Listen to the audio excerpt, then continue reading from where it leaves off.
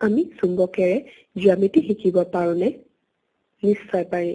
ইয়াৰ বাবে তোমাক লাগিব বহুকেইটা চুম্বক বটলৰ মুখনি আৰু আঠা। দুটা চুম্বক লোৱা যদি এটা উত্তৰ আৰু এটা দক্ষিণ তেনে দুয়োটাৰ মাজত আকৰ্ষণ হৈ লাগি ধৰিব। এতিয়া ওলোটা কৰিয়া ইটোৱে সিটোক বিকৰ্ষণ কৰিব। এতিয়া গোটেইবোৰ চুম্বক এনেকৈ থোৱা যাতে ইটোৱে সিটোক বিকৰ্ষণ কৰে।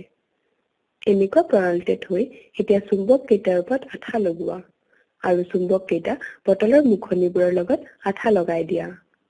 তুমি তেনেকৈ সাতটামান চুম্বক লোৱা আৰু প্ৰত্যেকটো যাতে বিকৰ্ষণ হয় তাক মন কৰিবা। ইয়াত তুমি ওপৰ আৰু তল অংশ চাব পাৰা। এতিয়া এটা চুম্বক ডাঙৰ পানীৰ পাত্ৰত থোৱা। আৰু দ্বিতীয়টো দি দিয়া। দেখিবা পানীৰ মাজতো ইহঁতৰ বিকৰ্ষণ হয়।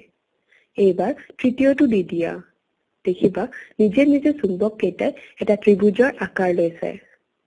তুমি যদি আকৌ এটা যোগ কৰা তেন্তে সিহঁতি বৰ্গৰ আকাৰ লব। আকৌ এটা যদি যোগ কৰা তেন্তে সিহঁতি কেন্দ্ৰত থাকিব আৰু যেতিয়া ষষ্ঠটো যোগ কৰিবা এটা কেন্দ্ৰত থাকিব আৰু বাকী পাঁচটাই পঞ্চভুজৰ আকৃতি লব।